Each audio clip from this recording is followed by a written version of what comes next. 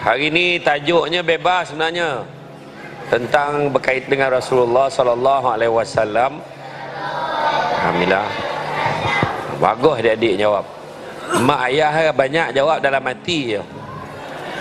Hmm, tak apalah, dah ada wakil jawab dia kan. Dan hari ni tajuknya ayah, ibu dan anak. Ya, jadi bila sebut ayah, ibu dan anak, kita tak dapat dah tak dapat nak ngelak untuk bercerita tentang seorang manusia yang hebat. Seorang manusia yang hebat yang diberi nama Muhammad sallallahu alaihi wasallam. Ha.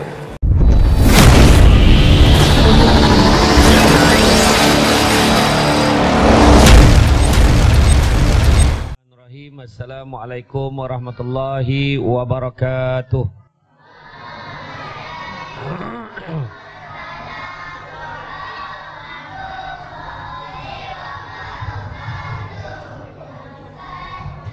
Alhamdulillah. Alhamdulillahillazi arsala rasulahu bil huda wa dinil haqqi liyuzhirahu ala dini kullihi wala karihal kafirun wala karihal musyrikun wala karihal muslimun. Subhanaka la ilma lana illa ma 'allamtana innaka antal alimul hakim. Rabbi syrah li sadri wa yassir li amri wa hlul 'udatam min lisani yafqahu qawli. Terima kasih saya ucapkan kepada tuan pengerusi acara yang berbahagia pengerusi Nazir Masjid Riyadus Salihin Tuan Imam Barisan Jatang Kuasa Masjid. Tidak saya lupakan juga Ustaz Farid selaku pengemudi camp pada program ini. Dan tidak saya lupakan barisan jantung kesa masjid tuan-tuan dan puan-puan yang dirahmati sekalian serta adik-adik yang berada di bawah dan juga di atas pentas ni biar ada dia tengah riang bona tu jadi hari ni tajuknya bebas sebenarnya tentang berkait dengan Rasulullah sallallahu alaihi wasallam. Alhamdulillah. Bagus adik-adik jawab. Mak ayah banyak jawab dalam hati je. Hmm, tak apalah, dah ada wakil jawab dia kan. Dan hari ni tajuknya ayah, ibu dan anak. Ya, jadi bila sebut ayah, ibu dan anak, kita tak dapat dah, tak dapat nak ngelak untuk bercerita tentang seorang manusia yang hebat seorang manusia yang hebat yang diberi nama Muhammad sallallahu alaihi wasallam sebagaimana firman Allah laqad kana lakum fi rasulillahi uswatun hasanah liman kana yarjullaha wal yawmal akhir wa zakarallaha katsira nak menceritakan sesungguhnya nabi kita tu Rasulullah ni mempunyai contoh ikutan terbaik uswatun hasanah ha. Dan yang mana dengan contoh ikutan terbaik tu tak adalah contoh-contoh lain lagi yang kita boleh ikut. Itulah contoh yang terbaik. Jadi contoh yang terbaik ni tak dapat tidak kita kena kaitkan dengan akhlak Nabi kita. Haa punya hebatnya Nabi kita satu-satunya manusia yang kita celebrate birthday dia walaupun dia dah tak ada. Satu-satunya yang belakang dengar tak ngangur macam tak dengar ya kan dengar ya dia ada banyak tiket hari ni tiket budak-budak ada depan ha. ha tiket uh, grandstand belas tu ha.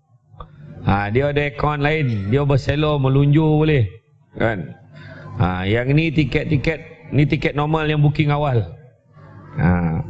Yang insya saya ceramah tak lama dah sebab lepas ni nak bergambar. Kan? Ha, jadi kita jangan ceramah dah lama dah. Tadi dah ada pesan kat tuan pengusi ni. Jangan lama nak ceramah. Berhenti sebelum kedua tu. Ha, ada mulalah perempuan ha, tak kan. Orang lelaki relax dalam mati kau ceramah lah seorang kan tak? Jadi akhlak Nabi ni akhlak yang terbaik. Adik-adik pun kena tahu. Nabi mempunyai akhlak yang sangat baik. Ha, yang terbaik khuluqil azim. Akhlak yang teragung. Jadi sebagai seorang ayah macam mana pula?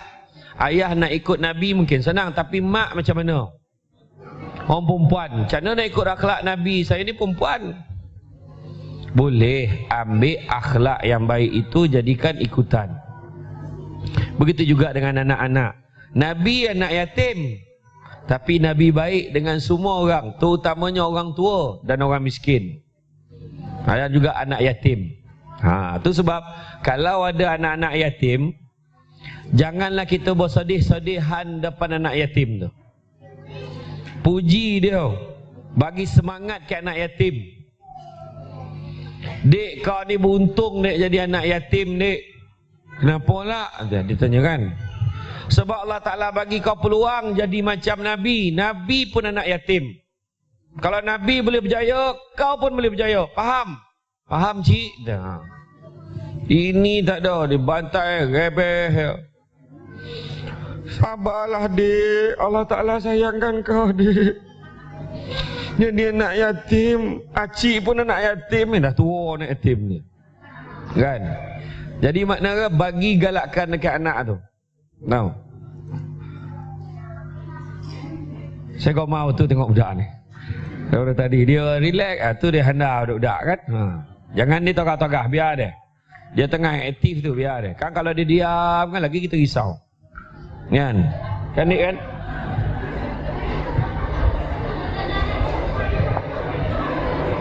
Eh dah nyuruk lah dah. kan? Jadi bila tengok akhlak Nabi yang paling popular kita tahu yang pertamanya Nabi ni adil. Ha, jadi sebagai seorang ayah, sebagai seorang mak, sebagai seorang anak adil. Nampak senang, susah. Adil ni bukannya sama tapi meletakkan sesuatu kena pada tempat eh. Contoh dalam kes orang yang nak kahwin tu. Dia nak kahwin lebih itu. Tengok saya berjaya senyapkan dewan ni bila sebut macam tu. Maknanya perhatian penuh diberi oleh orang perempuan.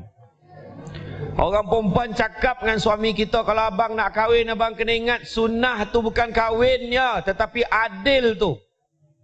Kalau abang boleh adil saya setuju. Betul tak? Oh, tak dapat dia setuju tau. Payah setuju kan. Kan? Adil. Nampak benar meletak satu kena pada tempatnya. Kalaulah mak ayah tu kita bawa naik kereta.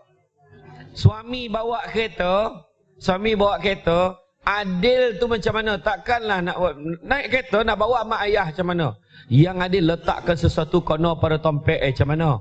Ayah tu offer duduk depan dulu. Faham? Nah, orang perempuan nak tolong support suami. Apa pula? Kereta ni nama siapa?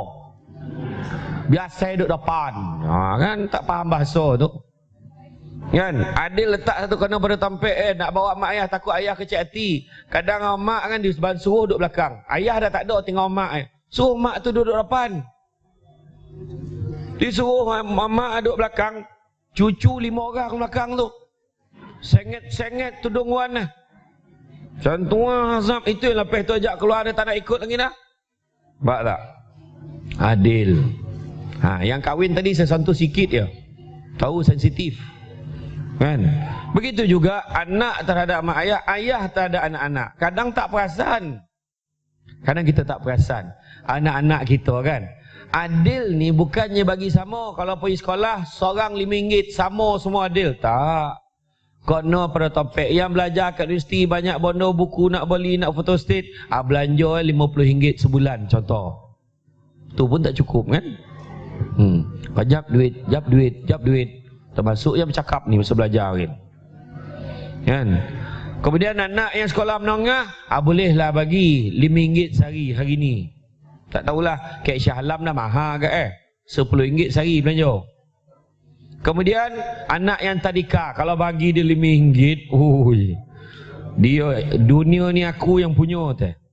Lima ringgit hari ni aku belanja geng-geng tadika yang lain. Tadika Upin dan Ipin. Nah contoh kan. Jadi maknanya kedua kena pada tempatnya. Makna tu cerita adil. Cerita adil. Yang kedua, akhlak Nabi yang popular yang kita kebiasa tahu adalah benar. Berkatalah benar. Ha, kan? Contohnya bila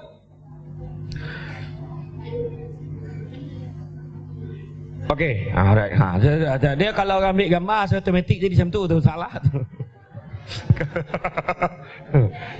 Melak kira kan. Ha, jadi benar, maknanya walaupun apa? Nabi dalam bergurau pun ya Allahu akbar. Nabi tak nipu dah, kita menipu gurau. Kan? Ha, Nabi tak ada dah. Tapi pernahlah sekali Nabi bergurau dengan sahabat-sahabat, bayangan Nabi bergurau dengan sahabat tak ada Nabi berkasar dah. Nabi dalam keadaan lembut ya. Nabi pernah makan buah tamar dengan sahabat-sahabat. Macam kita lah makan sate. Pernah tak makan sate dengan kawan-kawan? Lepas tu lepas makan, lidi tu kita letak dalam pinggan kawan kita. Biasa buat tak tu? Kononnya kawan kita makan banyak, kita tak makan. Kan? Jadi supaya zaman Nabi dah berlaku tu sahabat-sahabat makan buah tamar, biji itu dia letak dalam pinggan Nabi. Sudah penuh biji buah tamar tu dalam pinggan Nabi. Nabi dah perasan lah perangai sahabat-sahabat ni. Tapi Nabi baik kotak hati. Bila sudah tu kan sahabat tahu Ya Rasulullah banyak aku makan buah tamar Ya Rasulullah. Nabi pun jawab. Alhamdulillah. Daripada kamu semua sampai biji-biji kamu telan deh. Langsung dia tolak lah sahabat-sahabat. Ha, dalam diam tak diam ya kono. Tapi tak ada kacau hati dia. Nampak tak? Ha, cuba kalau kita kau banyak kau makan sate, eh kau yang letak lidi ni, kau kan tak nampak kau. Ha, agak macam tu lah kan. Ha, ha. Tapi Nabi tak relax je Nabi. Nampak tak? Ya? Nabi ni benar. Walau apa pun Nabi bertahan. Nabi tak tipu. Ha, Nabi tidak menipu. Kemudian bercita-cita tinggi Nabi. Hasrat Nabi mengembangkan Islam. Akhirnya sampai Syahlam. Akhirnya sampai ke negara kita, kita dapat nikmat Islam. Itu sebab kena syukur mana. Itu sebab selalu saya sebut. Kita ni dalam hidup kita ni kena syukur. Pertama, antara makhluk hidup dengan makhluk mati. Allah Ta'ala tak pilih kita jadi makhluk mati. Contoh makhluk mati meja. Kursi. Makhluk mati tu. Makhluk hidup ada tiga. Syukur banyak-banyak Allah Ta'ala tak pilih kita jadi tumbuh-tumbuhan. Bayanglah lahir-lahir jadi robong. Ah sudah ni kenduri ni kan habislah dia ni kang. Kan? Tak jadi robong. Kojap kena cantik, buat lauk gulai, gulai lemak cilepi. Syukur juga lahir-lahir bayang lahir-lahir jadi kambing. Asal maulud eh comeh. Dah lah dalam kandang tu tinggal dua ekor ya. Rasa kau kali ni je Dia berak dua sama dia kambing Rasa kau Badan kau gomok ni Tak ada dah Tuan kita ni suka yang tulang-tulang Kau ni je Bergaduh dua tu Tahun tu panggil Syamsul debat Jadi kenduri besar sikit dua-dua selesai. Dalam bincang-bincang, dua-dua kena semua boleh. Contohlah kan. Ha. Syukur. Dan syukur banyak-banyak Allah Ta'ala pilih kita jadi manusia. Bila syukur jadi manusia, kan? Syukur banyak-banyak Allah Ta'ala tak pilih kita lahir-lahir dalam tokong. Atau lahir-lahir dalam kuil. Pem, pem, pem, pem, pem, pem, pem, pem. Ha. Bompa tu lu tu mai eh tak ada. Batando calit nah, kan? Tak ada. Lahir-lahir jadi Islam tu sebab perasan atau tidak? Nikmat yang paling besar Kan? Kita tengok macam mana kawan-kawan kita, saudara-saudara kita yang baru mendapat nikmat Islam. Menangis dia mengenangkan zaman dia jahil dulu. Perasan tak? Bila dia dapat ini, dia mengucap, Ya Allah, aku dulu kenapalah aku sembah itu? Dia kata. Kenapalah aku buat macam ni? Menangis dia. Kita, ramai antara kita, yang dapat nikmat Islam daripada koci kemain bangga cerita zaman jahil abah dulu masa muda mana joget lambat ayah abah tak pergi tu abah dulu mana perempuan dekat session 17 ni abah tak bawa naik motor tu Abah mana perempuan tak jadi girlfriend abah. Nampak? Kadang-kadang dia terlupa. Sebenarnya tu bukan nak dibangga-bangga tau. Kalau kita bercerita macam tu pada anak-anak kita, anak-anak akan fikir, oh makna tak apa lah muno budo baik perangai.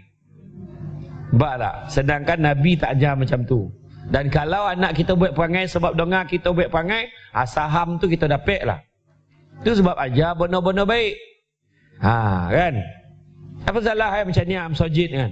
Punya lawa Amsajid Riyadus Salihin. Siap dewan kalau baik majlis akad nikah sini pun cantik, terbaik. Kan? Pengantin ready belah sanun semayang sunat. Senia ha, ya Allah. Kedua-dua mempelai naik di atas pentas. Ya Allah. Tak kira lah perkahwinan kali berapa. Tapi sini memang okey. Contoh. Lopez ni jangan panggil lagi dah penceramah ni. Banyak mana cerita pasal tu. Kan? Ha. Tak adalah. Maksud saya tu makna tinggal nak datang ya tak ada sebab kapet la ilaha illallah tabanam muka apa salah eh akhlak yang baik bawa anak isteri pergi ke pergi ke masjid yang tua-tua jangan bagi alasan jaga cucu cucu cucu heret bawa sekali helaan bawa pergi ke masjid kan Nabi dah pesan Nabi dulu pernah bercita-cita nak pergi bakar rumah orang yang tak pergi semayang jemaah. Bercita-cita. Kalau ikut hati aku, aku nak bakar rumah orang yang tak pergi semayang jemaah. Nabi cakap. Cuma Nabi tak buat. Kalau Nabi buat jadi sunnah. Bayanganlah jadi sunnah. Dah tak ada kojo lah imam pergi bakar rumah orang pergi semayang jemaah. Lepas satu, satu rumah bakar. Dah imam lambek sampai dah rumah dia lah kena bakar. Kan? Ha, kan? Tapi maksud itu penekanan Nabi dah beritahu semuanya jemaah datang. Tapi menurut pengamatan saya lah di bandar-bandar, di taman-taman perumahan tak ada masalah sangat. Sekarang ni di kampung-kampung masalah. Semuanya jemaah ni kan kalau maghrib isyak alhamdulillah. Cuma tinggal lagi ramai datanglah. Cuma yang tak datang lagi ramai. Ha itu yang masalah sekarang ni. Jadi makna apa?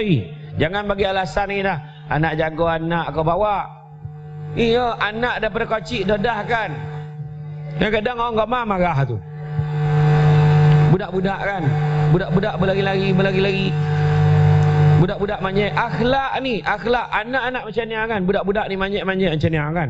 Dia tengah aktif ni. Memang macam tu. Tapi sayang anak ni. Bawa Alhamdulillah dia berlari-lari kat mana? Kat masjid. Okey lah tu. Daripada dia berlari ke disco. Kan? Dia berlari-lari ke pakan tak mana tampik bawa eh. Macam-macam pemandangan.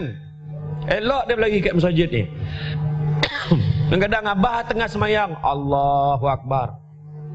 Budaknya panjek ni ah, panjek abah.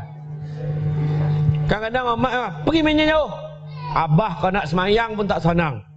Contoh Sampai tua budak tu. Asal waktu semayang kan meja jauh. Nampak tak? Cara kita mendidik anak tu Nampak tak? Apa salah eh tarik turun Letak belakang adik Cuba dia ikut ayah Macam mana ayah buat Ha pandai Macam tu lah anak mama Syalam Anak mama lah kan Section 17 pula tu Mana kan Anak mama pandai Anak mama Macam tu kan sebab dia budak. Lainlah kalau abah tengah semayang, omak apa panjang.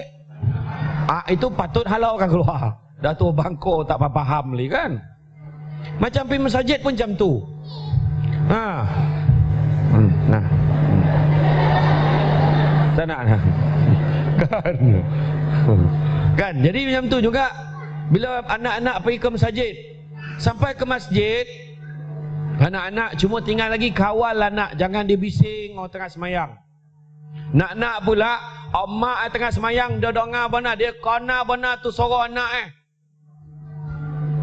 Engkaulah sekuntu menyanyi tak tu Oh anak aku lah tu Anak aku Dah tak khusyuk semayang ya, Jadi makna kata Bila anak tu galakkan Biar seorang Kadang-kadang bila dah tu ambil seorang Untuk kawal budak-budak ni Betul. Ada orang tu sampai lambek semayang. Bosa pahala sebab dia lambek semayang. Orang semua dah semayang ni.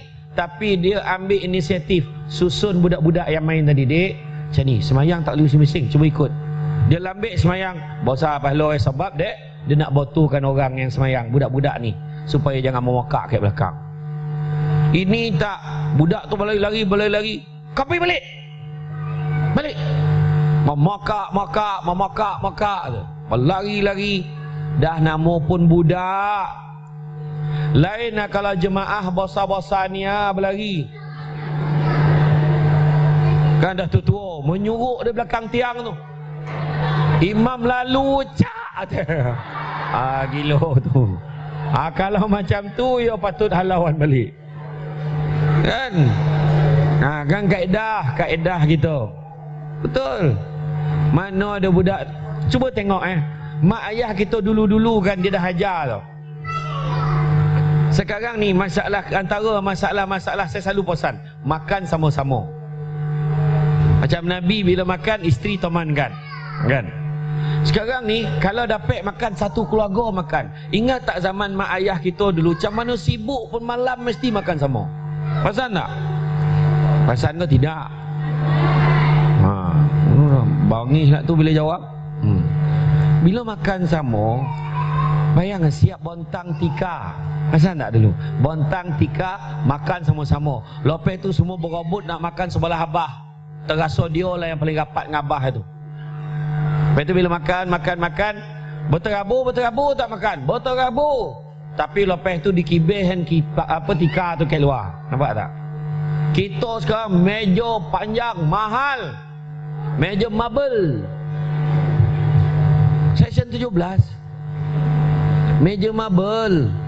Lepas itu saya cakap, aku makan kemudian, kan bersepah makan kan? Dia suruh anak tu makan kemudian. Tak ada suasana keluarga tu. Nampak tak? Dia biar dia makan sesama. Mak, ayah, anak-anak, nampak? Masa tu akhlak makan sama-sama. Ingat doa dulu. Nampak didikan ayah? Doa dulu. Ha, nampak? Mak, ayah macam tu ha? Anak tak adalah ramai sangat dalam 12 orang macam tu kan? Susun macam tu ha? Ha, macam tu lah. Bila makan tu pula Ambil lauk Ya ya nak lauk ikan tu Cubit dan letak dalam pinggan anak Dapat pahala Bagi anak makan Isteri lah minta Bang Nak tolong hulukan sayur tu Jangan hulur lagi lah Suap kan Ambil susu dulu Buka mulut. Abang. Ambil. Malulah anak tengok. Biar dia tengok kau ni isteri aku. Kau mulut, kau mulut, kau mulut. Yelah, yelah, yelah oh. Bila dia suap kan Anak tak pernah tengok Yo, yo, yo, yo Banyak ni Tapi yelah pun nak suruh-suruh Kemesraan kan dalam keluarga Okay Kemudian Bijaksana dalam menjalankan tugas Ha, Nabi kita bijaksana menjalankan tugas. Saya paling respect orang perempuan. Dalam rumah memang bijaksana. Orang lelaki dia bijak sini je. Dalam rumah. Sebab orang lelaki. Betul. Kalau ikut Nabi lah. Ha, ni dengar betul eh. Kalau ikut Nabi. Nabi dia takkan susahkan isterinya. Untuk benda-benda yang Nabi boleh buat sendiri masakkan makanan buat makanan sendiri buat air sendiri jahit sendiri melainkan dah tak boleh sangat baru Nabi minta tolong isteri dia memang betul ha, orang perempuan kalau dengar apa ini bawa balik kan tu abang dengar tak tadi ceramah tadi? Tadilah. Nabi macam Nabi macam mana? Culang lagi? Ha tu masalah tu kan. Tak ada dah. Cuma uruf kita. Adat kebiasaan kita masyarakat Melayu Islam di Malaysia memang orang lelaki tak roti apa. Tak percaya bawa lelaki kita akan bawa ke dapur. Bang berhenti sini. Sekarang bang tunjuk garam kat mana? Ha? macam-macam tunjuk semua tubik nyamuk tu bang tu ha, tapi dia beza tu kan sebab orang lelaki ni memang dia dah salah sebab orang perempuan ni bijaksana tu dia tahu dah susunan tu bayangan belum pindah Baru tunjuk niat tapak rumah. Bang, rumah kita besok cania-cania. Wardrobe cania, lemari cania, topi bang. Kawasan potang, kita boleh minum potang menghadap matahari terbenam. Rumah ai cerita eh. Rumah semidi bang, duduk topi. Ya Allah, seronok tak sabar rasa kata. Saya macam tu lah makin. Bila dah bali rumah tu kan. Semidi macam tu lah cerita boleh minum petang kat topi ni bang. Dah tujuh tahun duduk kat rumah tu. Sekali pun tak minum kat situ. Tapi dia bijak sana dia dah nampak dah peraturan apa semua macam mana nak buat. Iya.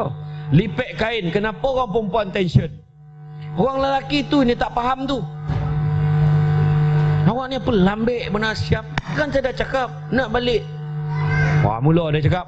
Abang tengok kain ni. Macam mana nak susun? Ingat main senang-senang je kelipat. Ni suara dalam abang. Bercampur-campur dengan suara dalam saya ni. Kita tengok ni budak-budaknya baju baju baju lain seluar kat tempat lain ni semua nak kena asing-asing kan. Jadi orang lelaki kalau kalau tak nak attention saya bagi petua. Yang Malam ni kita balik kampung Siap ha, Dia pun siap Dia lambik pun jangan marah Sebab nak balik esok sebenarnya Bila dia dah siap eh, Bang dah siap bang ha, Besok kita balik ha, Tapi Kalau kalau kita sebut esok balik Apa jadi? Dia keluarkan balik kain tu Dia akan cari kain-kain lain Yang sampai dia nak bawa masuk ha, Tapi makna orang perempuan ni Dia punya perancangan ni lain Sebab orang perempuan banyak pakai otak kiri dia dah nampak dah ni macam ni. Yang ni macam ni. Ni macam ni. Itu sebab orang lelaki belum cucuk gaji senarai dah siap. Atau ha, orang perempuan. Ya, jadi mana bijaksana. Orang lelaki pula bijaksana dalam rumah tu mengawal emosi ahli-ahli dalam rumah tangga tu. Ha, macam mana kita tengok Nabi? Nabi kan ya Allahu Akbar. Waktu makan masakan isterinya masin. Nabi kawal, tak ada marah-marah dah. Nabi panggil isteri dia, Ya Mumairah, wahai pipi kemerah-merahan. Macam kita panggilan manyolah yang ling anja bi. Saya yang tang bi tu tak terayo nyebut ada. Goli tokak. Bi bi kat na, bi kat sini dua-dua bi. Dia macam binatang apa orang Bibi tu kan ha. Abang sayang okey lah tu Sekati lah hai, nak panggil apa kan Jadi Bila Ya Mumairah isteri Nabi pun datang Ya Rasulullah ada apa ya Rasulullah? Panggil pula nama pangkat Nabi. Nampak? Ha. Nabi nampak? Panggilan mesra. Balik nanti tukar tau Panggilan mesra. Wahai anakku Anak kita kalau nak marah Jangan panggil long Tengah. Jangan. Nak bagi pesanan kita Teguran kita merasap masuk Dalam diri anak kita Sebut nama penuh eh. Ingat tu Siapa suruh bagi nama panjang Mira Edorai Sabella Bila Ehsan bin Abang Bomber I love you. Wah. Mana? Tak kisahlah panjang bona tajuk tu kan. Bagi nama apa panjang sudah panggil Long Ngah Lang Ci. Panggil Syamsul Amri Ismail. Dengar ni ayah nak cakap. Ha macam tu lah kiranya. Siapa nama dik? Tak payah pandang belakang nama kau lah. Ha? Ha, Mio Aiman Mikael. Dengar ni mama nak mama ke ibu. Kau panggil mak apa? Mami. Wah, section 17. Nah, kan. Dengar cakap mami ni. Mio Aiman Mikael. Jangan bangun lewat-lewat lagi. Bila dia cakap sebut nama tu merasap masuk. Nak marah suami pun macam tu. Wahai Syamsul Amri bin Ismail suamiku barang diingat kain plekat ni jangan disepahan kat sini lagi. Contoh bukan sini tompe dah. Macam tu lah okay, kan. Iya. Makna sebut tapi nama tu nama tu panggil nama penuh. Tu satu petua saya nak bagi. Marah anak lagi satu marah anak-anak ni. Sebab anak-anak ni dia dalam tempoh membangun. Dan anak kita sekarang ni tengah berkembang dia tak macam kita tau apa benda tu. Kau di ya Allahu Akbar. Bertuah mak ayah eh. Kan? Saya ingat sabar mak eh. Tu sebab mak biar tu. Biarlah tak tek aku dah. Jadi apa kau baik duduk dalam tu dek Biarlah dia. Biarlah dia. Min ni kan malah meh budak tukang. Ha, tak apa. Jadi bila bab menegur ni kan macam contoh anak-anak ni jangan tegur anak depan adik-beradik dia yang lain. Jangan. Kalau tegur anak depan adik-beradik yang lain, ego dia tu. Walaupun anak sulung, anak nombor dua, anak tiga tak kira. Kadang kita gambar marah dia. Jadi contoh macam malam, kita nak tegur dia kan. Okey. Yang lain pergi masuk apa? Oh, ni apa lah? Oh, kurang kuat. Macam-macam channel TV cover ini ni nampak. Jadi bila nak marah contoh malam anak nak tidur. Ha, semua yang seboleh-seboleh yang lain pergi tidur. Alung tunggu. Semua masuk tidur. Alung, tadi waktu makan ayah tengok Alung bila makan Alung bersepah-sepah makan. Jangan makan macam tu lagi tau. Ha, yelah, yelah. Alung janji Alung tak sesepah lagi dah. Mana kita nak tegur. Kan nak tegur. Tegur dengan cara jangan depan adik-adik sebab dia rasa malu nanti. Tu sebab kita tengok hari ni kan budak-budak ni generasi lain. Budak-budak ni semua generasi dia main bola, dia boleh main dalam 5 jam dia boleh main depan TV tu. Dia main bola dekat game. Tu dari itu saya ceramah dekat Suamban dekat LP PKN. Tajuk dia generasi gadget. Saya tunjukkan gambar sukan-sukan yang kita main dulu. Sukan-sukan yang kita main dulu tu sebab kita dulu payah nak dapat penyakit. Makin jatuh kudih kupik sendiri ni. Kena buang, buang. Tinggal jadi kudih kan. Yang luka-luka tu tak ada hal tu main lagi. Budak sekarang kudih pun tak tahu. Kan? Saya tunjuklah permainan apa tau dulu. Ingat tak dulu kita main tank-tank? Tu sebab berapa loh main tank-tank tu. Sebelum badan kita jadi macam ni, Kan perasan tak dulu kita boleh dengan sebelah kaki lompek tiga kotak tu. Perasan tak? Ingat tak dulu main guli? Kita boleh target daripada balik pokok tu boleh kono tu. Dulu. Ingat tak main tolak rim?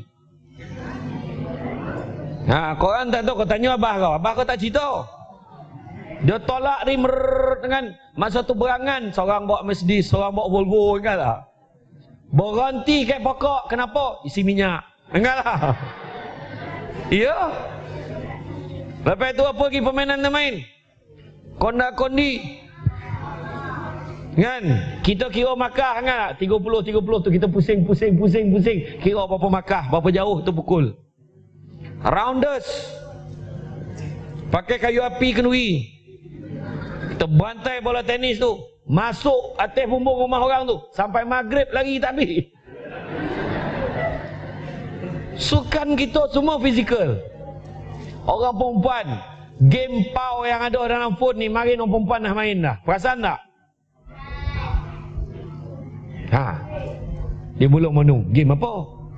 Ingat tak gambar kartun perempuan telanjang yang pakai baju dinner, pakai baju niat tu tukar-tukar. Ingat tak? Ha, anak-anak kita tak rasa. Ha, tu sebab eh kalau kita share tengok tu sebab kita makin permainan kita kebanyakan ni berpalu-palu. Main. Lepas tu kunui kenara. Anak-anak kita semua catering hari ni. Kita dulu dengan susun gambar mana masa mana sampai dulu nasi dulu, lauk kemudian lepas tu basuh tangan semua kan kita susun. Nampak tak? Jadi itu sebab anak kita. Tu Sayyidina Umar kata pesan Didiklah anak kamu mengikut zaman dia. Cuba tengok. Anak-anak jangan bagi dia main benda ni sampai leko. Ni, ni apa ni? Apa benda tu? PSP. Semap dah berlaku di Kelantan seorang budak. Main game ni ha? Sebab tumpuan ni kat situ ya. Cuba tengok perangai anak kita kalau main. Cuba kita panggil nama dia. Apa jadi? Long. Hmm. Mata pandang situ lagi. Long. Yo. Long. Yo. Tengok balik. Nampak tak? Dia dengan umur-umur yang macam ini, tumpuan dia sepatutnya luas. Kita dulu tu sebab kita main permainan, kita galah hadang ko, main batu seremban ko, kita punya pemandangan ni luas. View kita. Anak kita yang patut tengok luas tapi tengok kecil dekat skrin kecil tu. Akhirnya lagi di Kelantan budak tu jadi macam mana tu?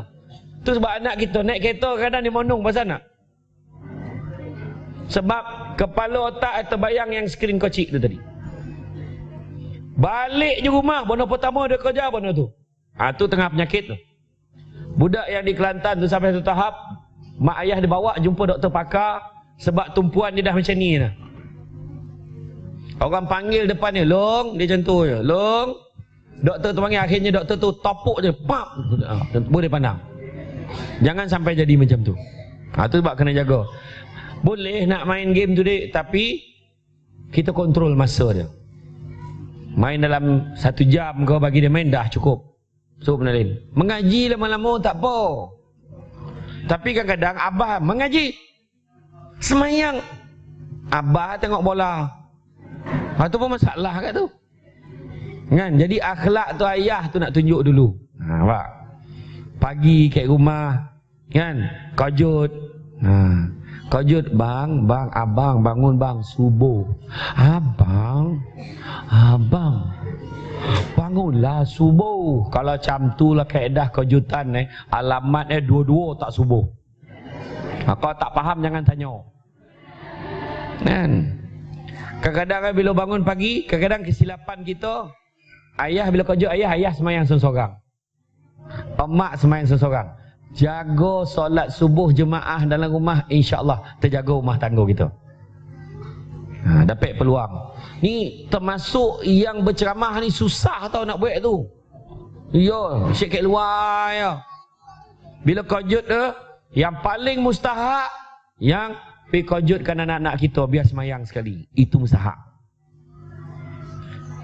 Ada orang tanya macam mana cara nak kajut sian budak tu tidur.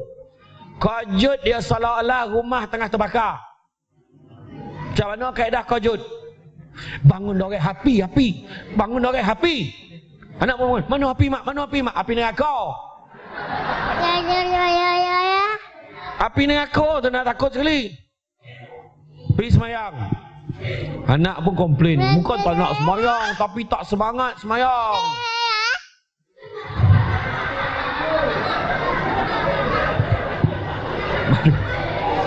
Ada mic lebih ke ni?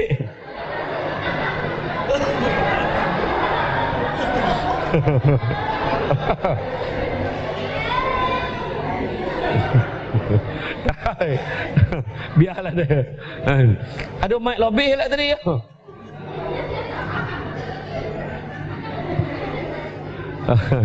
dah lupa dah. Pasal apa tadi? Ha, api. Sebab Anak komplain, tak semangat. Ayah semayang kan, maju je nak lelap je. Ada yang dua nak komplain sebab abah bila kajut bangun subuh. Ambil semayang, tahu semayang. Tu jam tu bunyi tu. Allahu Akbar. Bismillahirrahmanirrahim. Alhamdulillah Rabbil Alamin. Ar-Rahmanir-Rahim. Yang anak macam ni lah. Masuk bila air mandi, sagarkan badan, solat sunat dulu. Baru dah Allahu Akbar. Wah, subuh. Bismillahirrahmanirrahim. Bayanglah macam tu lah bunyi eh. Isteri dengan Alhamdulillahi Rabbil Alamin. Isteri dia suamiku. Bila dah ayah tak ada disebut-sebut ke anak. Dulu waktu kecil-kecil abah-abang kan mesti bawa subuhnya iya semangat kita orang semayang tapi kenapa bang tak buat Itulah abang nak sangat jadi macam abah-abang. Baik betul lah abah-abang. Itulah. Bang, abah-abang dulu macam ni tak bawa su subuh. Tak ada dah. Membuta kerja eh. Pak, kan tak elok tu. Jadi kita keluarga bawa. Dah habis tu yang mahal lah tu dalam keluarga. Dah bagi salam, dah zikir sikit, doa. Doa. Kan saya cakap, jangan berhenti mohon kepada Allah. minta kepada Allah kerana Allah Taala tak pernah berhenti membawi kat kita. Ha?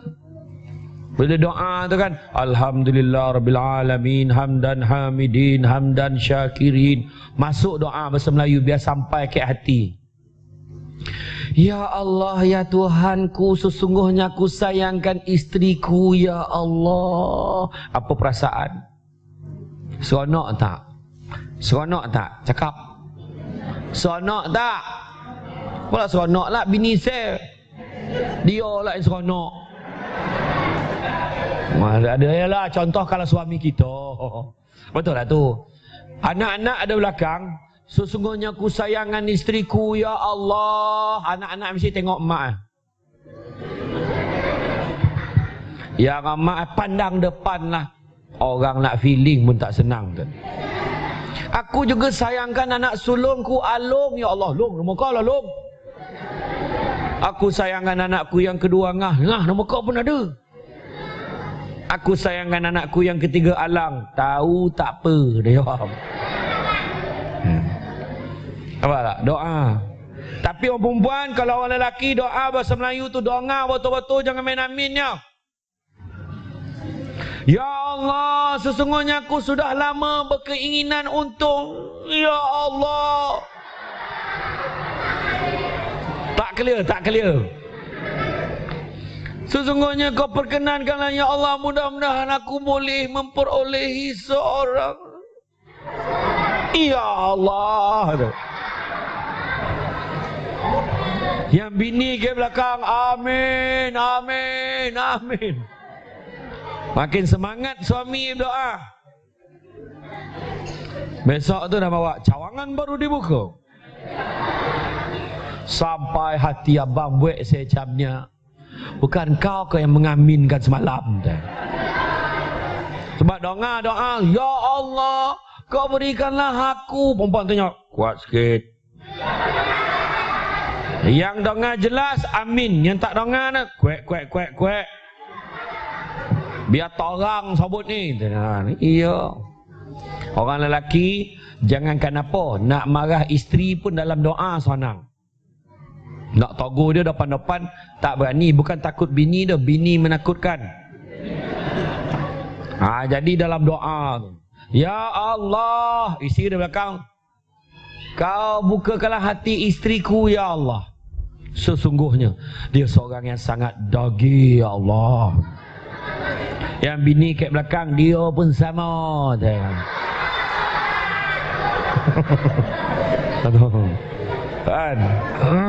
Okey. Kemudian bila sebut tentang akhlak, Nabi akhlak yang ter terbaik. Kita tengok Nabi cara Nabi bercakap lemah lembut. Cara Nabi berjalan teratur cermat.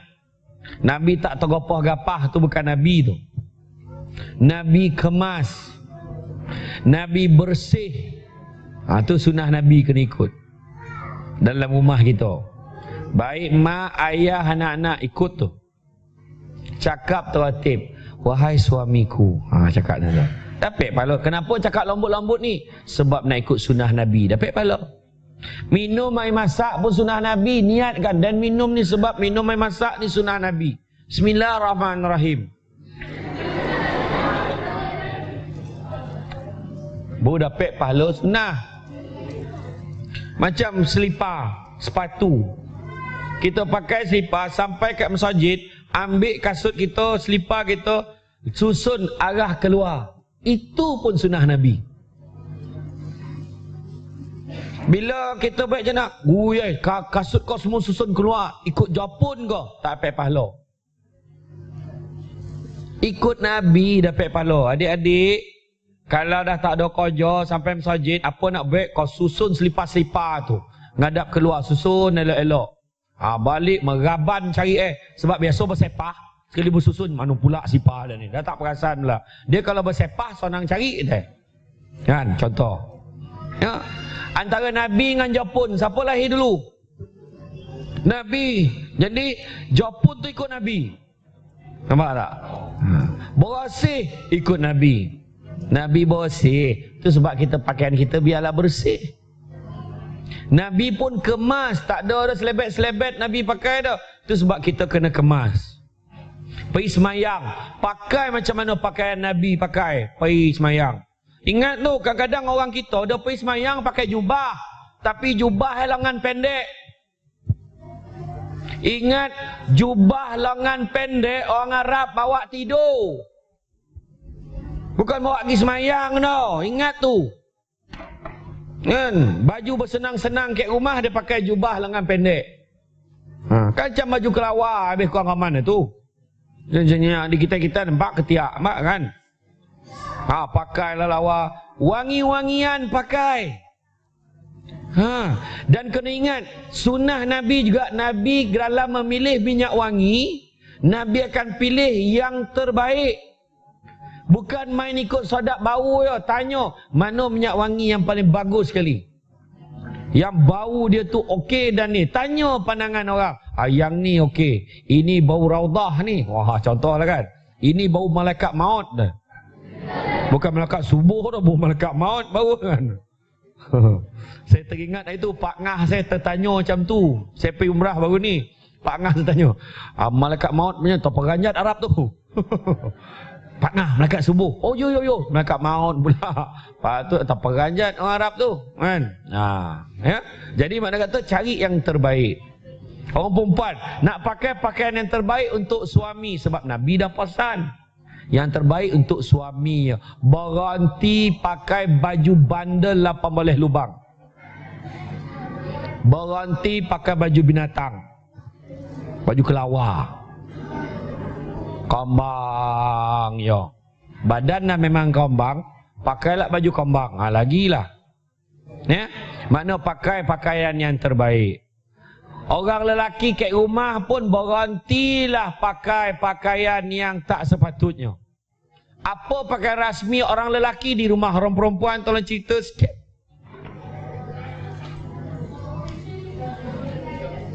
Spenda, apa ni? Kau biar apa tu? Apa pakaian orang lelaki pakai ke rumah?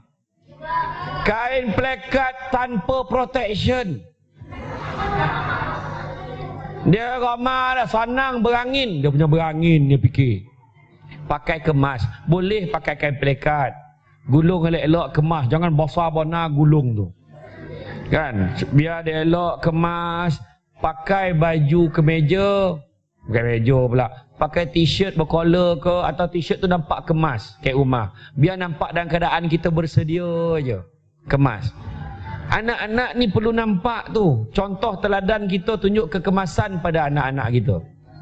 Cara bercakap. Cara kita bertutur. Buat baik dengan semua orang pun ajar anak kita. Sedekah ajar anak kita. Nampak? Kan? Macam ni lah macam Nabi. Nabi waktu muda Waktu dia remaja, Nabi pernah sekali itu Nabi nampak ada seorang makcik berbangsa Yahudi bawa barang. Dia pun tanya. Makcik boleh saya bantu? Baiknya anak ni. Anak daripada mana? Saya daripada Mekah makcik. Daripada Mekah. Jaga-jaga tau. Jangan kawan dengan seorang budak tu. Nama dia Muhammad. Jahat Muhammad ni. Makcik Yahudi ni cakap. Nabi senyum. Cuba kalau kita. Jahat Samsul tu. Terlopeh bakul tu.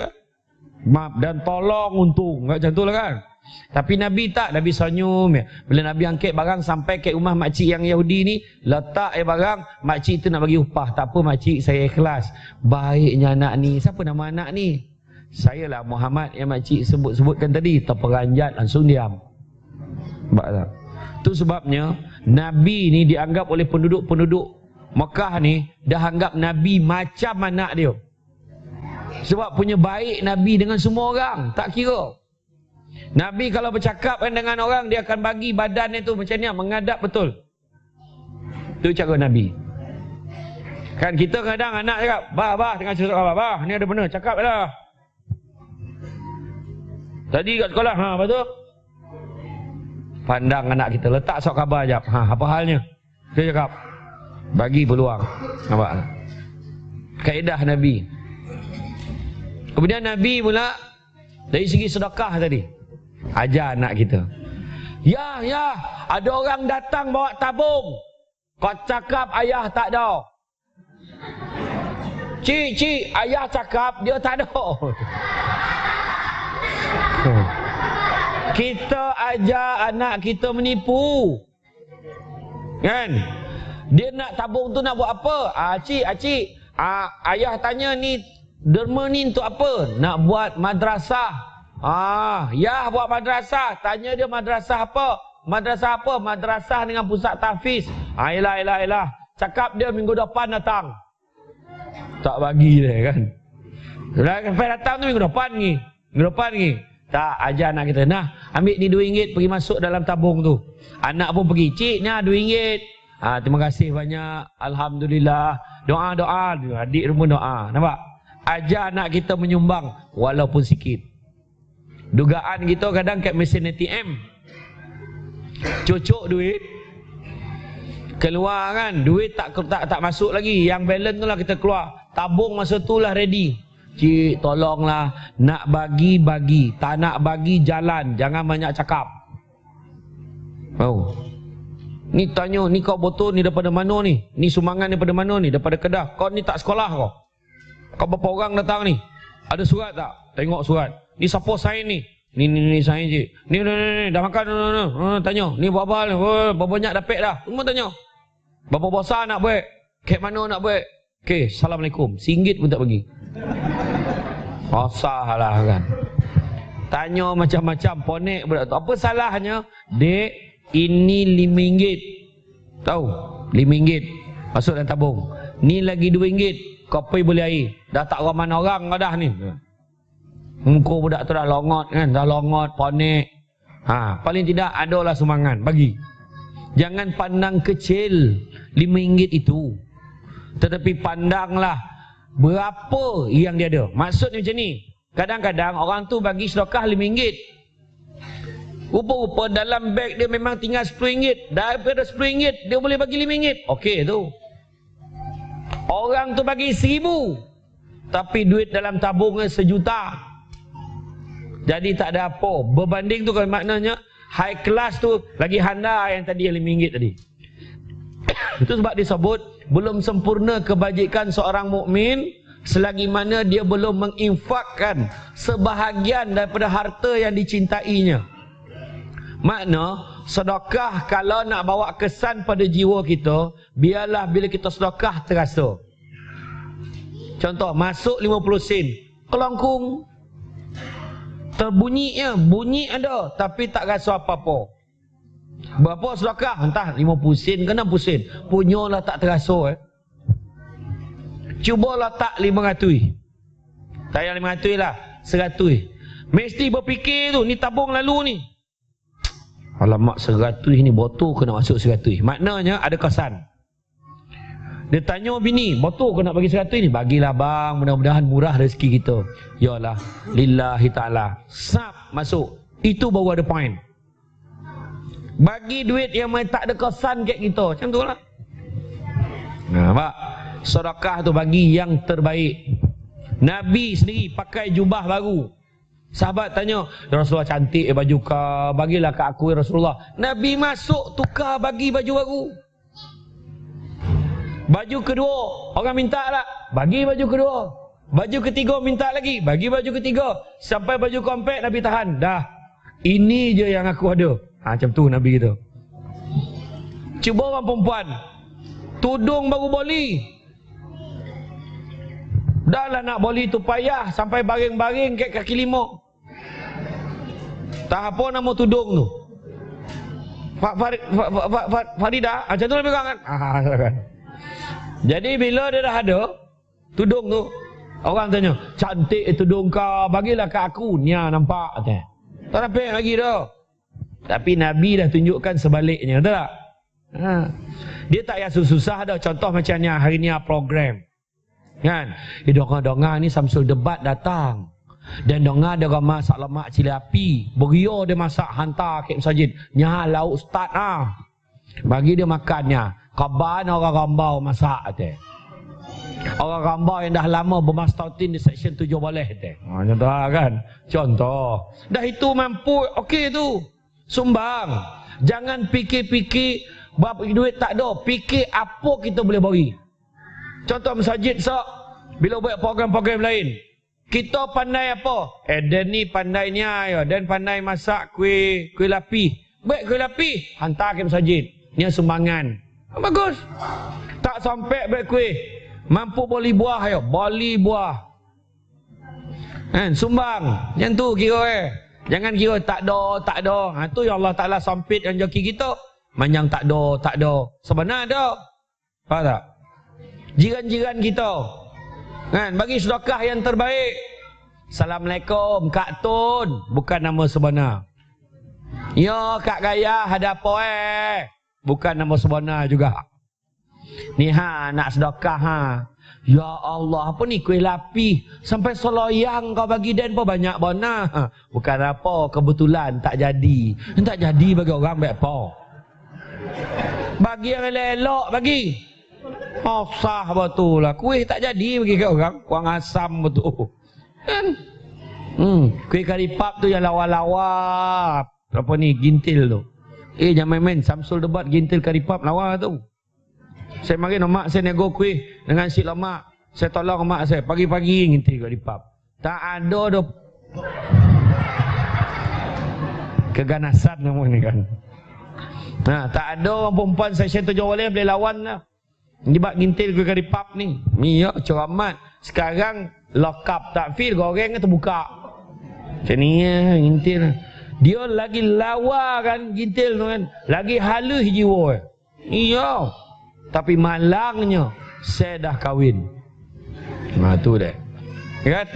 Ha, jadi makna kata akhlak Nabi ni akhlak yang terbaik.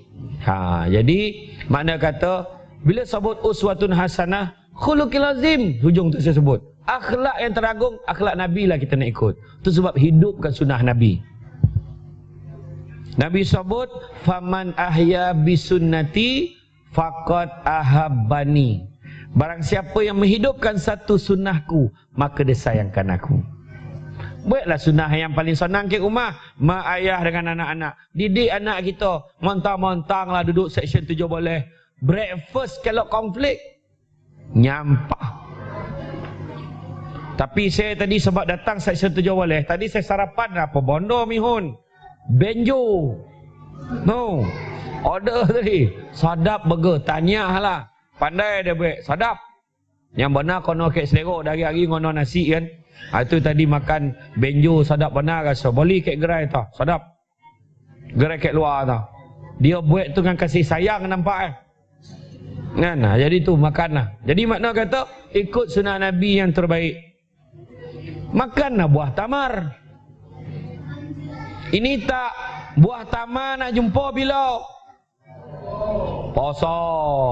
Pak tu jawab eh. Ijma ulama sependapat. poso, ya kan? Habis bulan poso buah tama kotak ngau usup-usup hilang. Usup tayub. Langsung tak terongan dah. Mari nu usup tayub. Usup tayub. La ilaha illallah. Sorry betul iklan tu. Makan buah tama. Di rumah Nabi dua bona tu memang ada.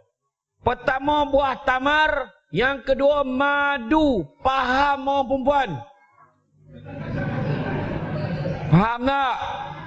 Madu lebah. Kan jangan salah faham. Makna dua-dua tu ada. Buah tamar, makan tujuh biji setiap hari makan. Biasakan anak-anak kita makan buah tamar. Eh? Apa lagi yang senang eh? Minum air kosong, saya dah tunjuk tadi. Makan buah tamar, dah tunjuk tadi. Apa lagi sunnah Nabi? Ah puasa Isnin kami buatlah.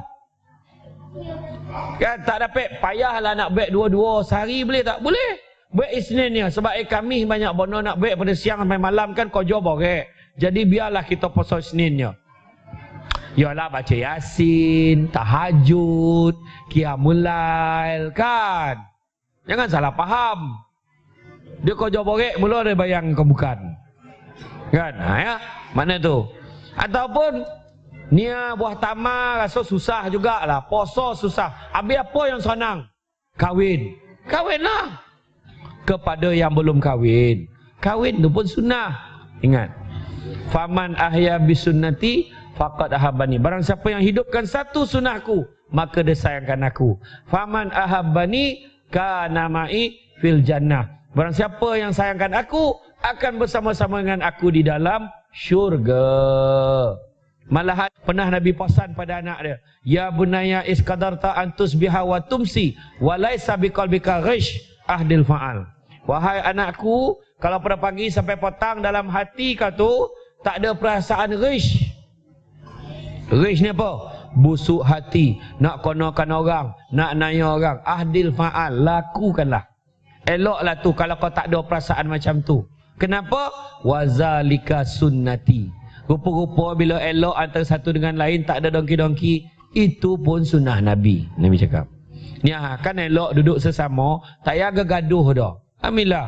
Duduk sekali semua, tak semayang-semayang. Kan? Tak salah kita nak gaduh-gaduh untuk bono-bono pahaman-pahaman ni tak payah. Tak semayang, semayang sesama. Ramai-ramai kan masjid. Tak kira apa lah datang masjid ramai-ramai. Ibadah Allah Ta'ala kita tulah dia.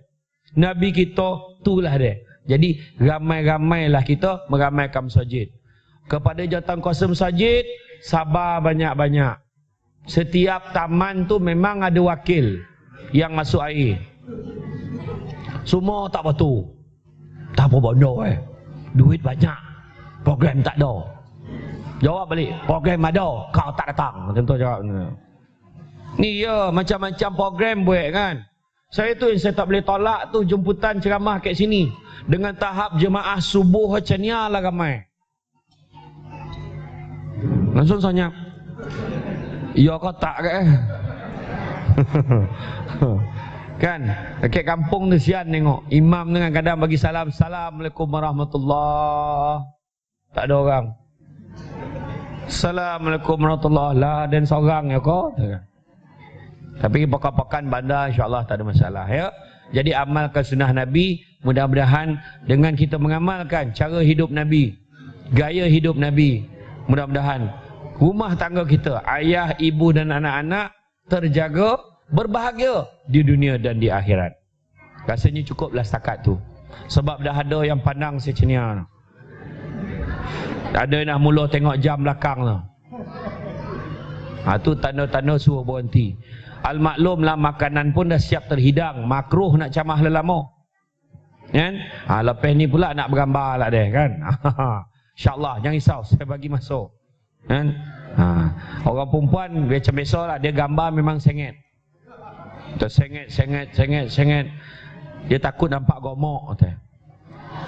Orang lelaki ikhlas. Melambak yang macam ni. Tak apa dia. Okay. Tapi yang heran kan. Orang yang nak gambar dengan saya ni semua orang tua. Tak apa kono eh. Hari tu ada seorang budak muda, budak politeknik. Saya sedebat eh. Allah eh. Giang ngelak rasa hati. Bila dia kata, haa. Ya Allah, mak saya minat betul. Mak dia yang minat. Ya kan dia tadi kan. Tapi tak apalah. Terima kasih banyak. Kerana kesediaan mengundang saya ke program ini. Syukur Alhamdulillah. Mudah-mudahan. Kita nak kena tahulah. Nabi kita ni contoh ikutan terbaik. Ya, uswatun hasanah tak ada lain lah. Itu sebabnya bila di barat dia susun tau ranking pemimpin paling berpengaruh di dunia dia letak Nabi kita nombor satu lepas itu disusun George Bush disusun Reagan kayak bawah tu lah sampai 20 ingat lah jangan sekali-kali mengiktiraf senarai itu sebab yang nombor 2 sampai nombor 20 tu tak layak nak susun dengan Nabi dia saja orang putih ni orang barat ni lah dia saja yang dimomok-momok kita macam tu, kita pun terima. Kita pun sebarkan benda tu kat semua orang.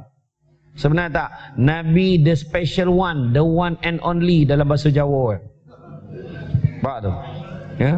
Ingat tu sebab kena selalu selawat ke atas Nabi. Faman ahabba syai'an aksara bizikri. Barang siapa yang suka sesuatu akan selalu menyebut-nyebut. Ha, saya rasa pagi tadi semalam semua dah selawat. Alhamdulillah. Selawat banyak-banyak. Yalah macam kita suka kat orang kan selalu sebut. Oh, Fatimah. Suka dia kat Timah tu. Zai, Zai, Zai, Zai. Suka dia kat Zai tu.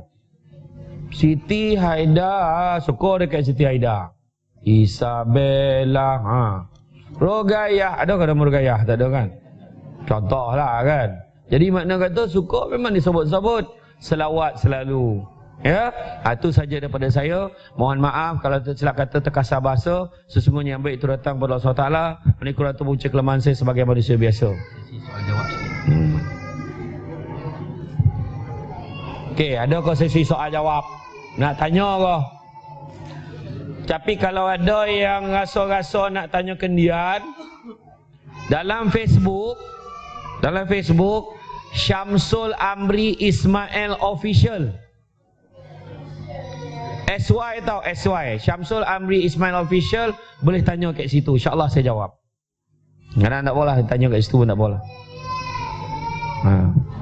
Ya Syamsul Amri Oh masa ada lagi ya? Saya cabah lah lagi ha, okay. Saya ingatkan tadi dah habis Kata berhenti sebelum kau boleh Nah, jadi sebut tadi selalu sebut. Ha, kan? Selawat ke atas Nabi banyak-banyak. Tak kisahlah. Sallallahu. Ada beragak tak tahun ni? Ada buat beragak tak? Ha, buat beragak. Tahun depan buat beragak. Tak payah jauh mana tu. Daripada MBSA sampai sini. Alamat eh sampai sini semua masuk rumah masing-masing. Tak raya dah. Kan? Eh, tak betul. Kerana bila selawat, seorang yang paling bongi orang yang pegang bendera tu lah. Dah lah, kalau selawat, pegang tiang pula. Eh, lagi lagi kuat kerja kita niat kerana sayang Nabi. Lepik pala. Sallallahu ala Muhammad Sallallahu alaihi wasallam Yang tu kalau orang muda laju Kalau yang lagu lama yang sesedih sikit tu Yang sabar tu Ya Nabi Salamun alaik. Ya Rasul Salamun alaik. Menitih air mata ataupun alfa sallu ala nabi khatamur rusulil kiram Ahmad al-Hadi Lazi Pernah dengar tak? Dia ada lirik itu. Ngawiti engson iki syiran kelawan muji maram pangeran. Kang gawe langit bumi ne. Paham nak? Saya pun tak faham itu nama dia selawat syair Jawa. Tengok dalam YouTube jumpa. Indonesia punya selawat. Sedap. Tapi maksud tu bila saya tanya tu. Kan ah, seribu selawat kepada Nabi. Kan Nabi yang terakhir yang mulia. Adalah dia punya maksud eh. Ha, kan? Dan saya nak kongsi dengan semua. Tentang akhlak mulia Nabi Muhammad. Yang ni saya, saya, saya sampai ambil lah ya. Hindu bin Abu Halah menggambarkan akhlak Rasulullah dengan Siapa nak ambil boleh ambil lah ya. Ha. Rasulullah adalah orang yang selalu mengkhawatirkan nasib orang lain, selalu berfikir dan penyayang. Baginda tidak pernah beristirahat, lebih banyak diam. Pak ya? Mana Nabi banyak risaukan orang lain daripada diri dia sendiri. Jadi kita dalam keluarga risaukan anak, risaukan isteri lebih daripada diri kita, maknanya niatkan sebab nak ikut Nabi dapat pahala sunnah. Jadi tak ada masalah ada kau ni risau mana, jaga diri kau sudah, tak boleh. Kena risau orang lain sebab Nabi macam tu. Ya. Beliau baginda tidak pernah beristirahat, lebih banyak diam. Ha, baginda ni ibadah kan. Tapi kalau dah baginda marah, baginda banyak diam. Kemudian baginda tidak berkata kecuali seperlunya. Dia takkan cakap melainkan benda-benda yang perlu baginda. Kemudian membuka perkataan dan menutupnya dengan sempurna. Kalau cakap tu tak tergantung dia. Kita kan gamar. Dia nak benar nak cakap dengan kau ni. Apa benda eh? Nantilah. Oh, sakit batu hati. Baik jangan cakap. Kan? Nabi akan buka perkataan dan tutup perkataan tu dengan sempurna. Lepas tu baginda berkata dengan jawami'ul kalam. Perkataan yang ringkas, padat dan jelas. Dia tak ada meleret-leret dah. Itu sebab mesyuarat jangan apa panjang nak cakap. Nyampah orang kadang-kadang. uh, kita pada hari ni ialah dalam memikirkan uh, program kita. Orang lah, apa benda lah yang payah bana. Straight to the point. Kita nak baik maulud. Berapa bulan? Tengok tarikh. Okey. Apa benda nak masak? Lombu, kambing, kangaroo, kabau. Pilih. Pap, kangaroo. Pap, catit. Yang tu lah. Ringkas, mesyuarat, cepat dan padat. Kemudian perkataannya jelas membezakan yang baik dan buruk tidak lebih tidak kurang. Baginda tidak kasar dan tidak suka menghina. Ha, ingat. Baginda tak suka menghina. Macam mana pun kita tak suka ke orang, jangan cakap benda-benda tak elok ke orang. Jangan buat. Ha, jangan kita buat macam tu. Eh? Kemudian begitu juga, kadang-kadang kita nak marah, ada kaedah lain. So tegur dengan baik. Lagi satu, ingat tak disegur oleh Saidina Umar yang saya sebut tadi. Kalau nak tegur orang, Jangan tegur secara khalayak. Tegur secara pribadi. Sebab kalau menegur di hadapan khalayak, itu bukan menegur. Itu namanya menjatuhkan maruah. Tetapi saya kena sebut. Tanpa sedar masyarakat kita menegur secara khalayak. Memang tak cakap macam ni. Tapi dia cakap dalam grup WhatsApp. Dia cakap dalam Facebook tegur orang kadang-kadang sampai menjatuhkan maruah. Jaga-jaga. Tu sebab ada PM tepi. Kan? PM tepi. So PM dia. Tuan, yang ini sebenarnya salah ni yang tuan sebut ni. Ha, macam tu. Contohnya dia ada quote ambil satu hadis. Tapi hadis tu hadis palsu contohnya. Ha, tuan, untuk makluman tuan, hadis sebenarnya hadis palsu. Harap tuan dapat betulkan. Jadi dia tu, maruah dia tu terjaga.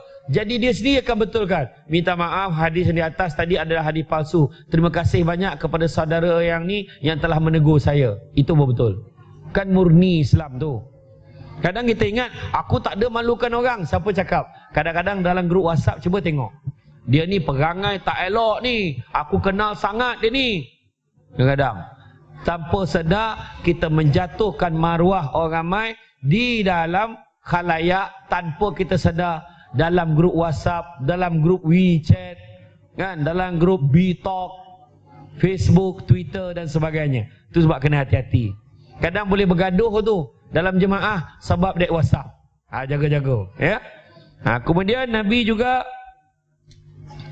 selalu mensyukuri nikmat walaupun hanya sedikit dan tidak pernah mencela nikmat yang kecil itu. Nabi kalau dapat nikmat Nabi syukur alhamdulillah. Pernah satu kali Nabi lapar, jalan-jalan cari makan. Tak sempat dengan Sayyidina Abu Bakar. Wahai Abu Bakar, kau ke mana? Aku lapar ya Rasulullah. Samalah jalan. Tak sempat pula dengan Umar. Kau ke mana Umar? Aku lapar. Samalah. Maka ketiga-tiga pemimpin hebat ni jalan-jalan cari makan. Sampailah ke rumah Abu Ayub Al-Ansari. Assalamualaikum. Abu Ayub buka pintu. Waalaikumsalam. Apakah gerangannya ketiga-tiga pemimpin hebat ni datang ke rumah aku? Wahai Abu Ayub, kami bertiga ini lapar. Ada tak makanan di rumah kau? Ada ya Rasulullah, tapi yang ada cuma buah tamar dan air masak. Nabi pun makan buah tamar, Nabi minum air kosong dan Nabi sebut Alhamdulillah dan Nabi sebut apa? Wa amma bi ni'mati rabbika fahaddith. Nikmat Tuhanmu hendaklah kamu sebut. Ha kan. Jadi syukur alhamdulillah dapat makan ni ha. Walaupun benjo syukur dapat makan. Sebut. Kadang-kadang kan dapat makan apa bono maulud mihun bagi. Jangan mencela nikmat walaupun sekecil-kecil nikmat. Orang tu puas mikir apa bono nak masak. Dia kata mihun ni paling senang dapat bagi ramai makan. Syukur. Orang tu langsung tak makan. Ha macam tu ha fikir. Kan? Okey, Nabi kita macam tu. Kemudian baginda tidak marah dengan dunia dan apa yang berkaitan dengan dunia, tetapi apabila kebenaran itu dimusuhi, tidak berhenti kemarahannya sampai memenangkan kebenaran itu. Tidaklah beliau marah kerana kepentingan dirinya dan tidak pula memenangkannya. Makna Nabi kita bab dunia Nabi tak marah. Tapi Nabi tak dalam kepentingan dunia dan akhirat, Nabi tetap akan utamakan akhirat. Mana yang benar Nabi akan sebut. Yang tak betul Nabi akan sebut. Macam tu. Tetapi kita dalam masyarakat nak togo biarlah dengan hikmah. Jangan main belasah ya. Dan kemudian apabila menunjuk, beliau menunjuk dengan telapak tangannya. Nabi kalau tunjuk, Nabi tunjuk, ah tu di sana. Nabi tak tunjuk tu, tak. Nabi bukan begitu. Orang tua-tua dulu-dulu kan dia marah, dia kata kalau tangan tunjuk macam ni, tangan tunjuk tai, orang dulu-dulu cakap kan. Jadi tunjuk macam ni ataupun macam ni.